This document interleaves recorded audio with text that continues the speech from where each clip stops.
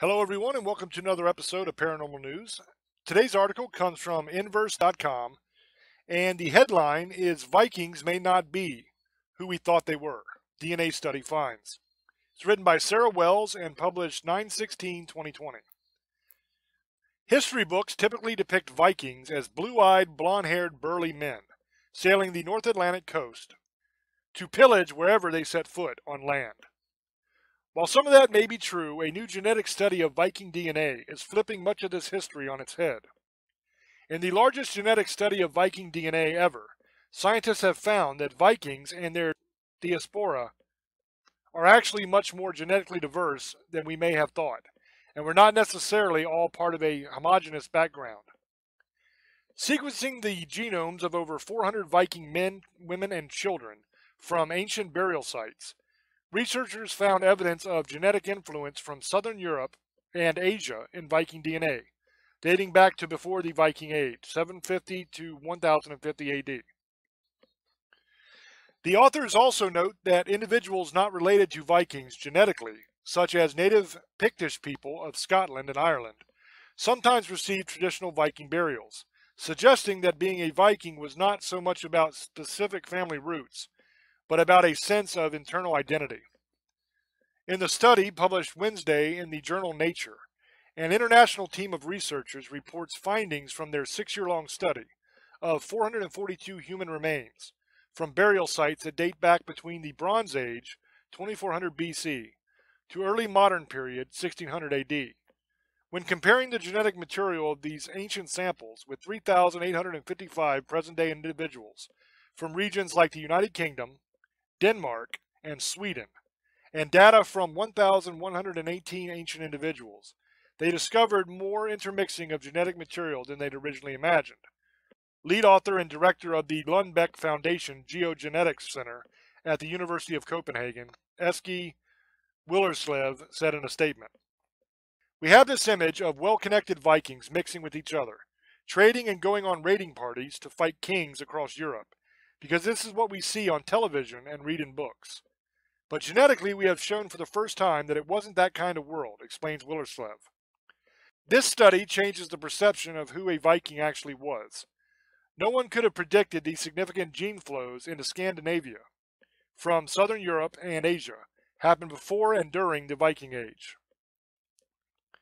Based on these results, Willerslev says that even well known imagery of Vikings being blond and blue eyed like Chris Hemsworth's depiction of Thor, may not be totally true, especially for Vikings with Southern European roots. The authors write that their analysis also confirms some long held theories and hunches about the movement of Vikings during this time. What they find? One of the first hunches that the study was able to confirm was the final destination of different threads of Viking migration from modern day Scandinavia. The DNA of ancient Danish Vikings cropped up in England, while Norwegian Viking DNA was found in Ireland, Iceland, and Greenland. Unexpectedly, though, they also found evidence of DNA similar to present day Swedish populations in the western edge of Europe and DNA similar to modern Danish populations further east. The researchers write that this unexpected discovery suggests that complex settling, trading, and raiding networks during these times resulted in communities of mixed ancestry.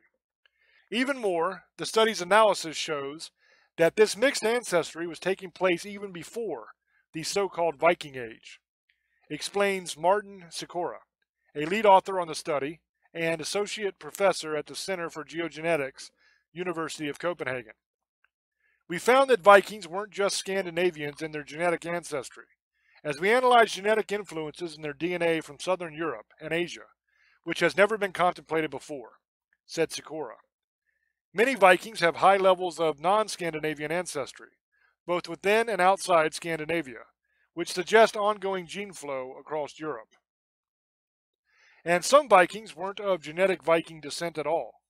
Researchers found when analyzing a Viking burial site in Orkney, Scotland, despite being put to rest in traditional Viking style, including swords and other Viking memorabilia, when sequencing the DNA of these remains, the authors found that the two individuals buried at this site were in fact of Pictish or early Irish and early Scottish descent.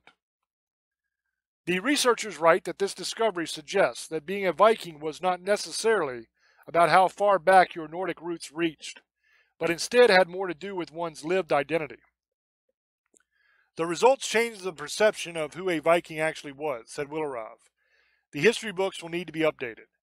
In addition to providing a more nuanced look at this transformational period of history, this new genetic insight can also help scientists better understand how different traits, like immunity, pigmentation, and metabolism, are selected for across genetic groups. Abstract. The maritime expansion of Scandinavian populations during the Viking Age, about 750 to 1050 AD, was a far-flung transformation in world history. Here we sequenced the genomes of 442 humans from archaeological sites across Europe and Greenland to a median depth of 1 times. To understand the global influence of this expansion, we find the Viking period involved a gene flow into Scandinavia from the south and east.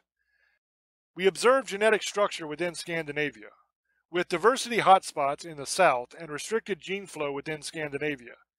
We find evidence for a major influx of Danish ancestry into England, a Swedish influx into the Baltic, and Norwegian influx into Ireland, Iceland, and Greenland. Additionally, we see substantial ancestry from elsewhere in Europe, entering Scandinavia during the Viking Age. Our ancient DNA analysis also revealed that a Viking expedition included close family members. By comparing with modern populations, we find that pigmentation associated loci have undergone strong population differentiation during the past millennium, and trace positively selected loci, including the lactase persistent allele of LCT and alleles of ANKA, are that are associated with the immune response in detail. We conclude that the Vikings diaspora was characterized by substantial transregional engagement. Distinct populations influenced the genomic makeup of different regions of Europe, and Scandinavia experienced increased contact with the rest of the continent. And that is the end of this article.